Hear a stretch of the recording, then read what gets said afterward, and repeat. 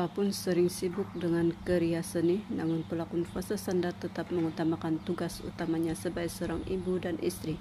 Menerusi perkongsian di laman Instagram miliknya, Fasa atau nama sebenar Nur Fasa Sanda Hasan, 38 mengakui dia ibu yang tegas namun dalam masa yang sama mempunyai cara tersendiri bagi menunjukkan kasih sayang terhadap tiga cahaya matanya melayani anak-anak yang bermacam-macam ragam. Saya seorang ibu yang tegas, tetapi saya men menjakan ketiga-tiga anak saya setiap hari dan takkan lupa dengan ayat I love you pada setiap anak. Lebih daripada tiga kali setiap hari, tetapi kalau salah tetap akan kena juga. Siapa macam saya?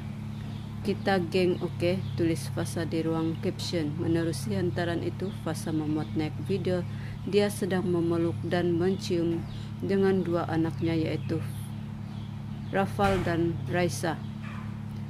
Sekedar info, Fasa mendirikan rumah tangga kepada pelakon Adil Aziz 35 pada 30 Maret 2019 dan hasil perkawinan pasangan itu dikurniakan seorang anak perempuan Aisyah Amira 2 tahun.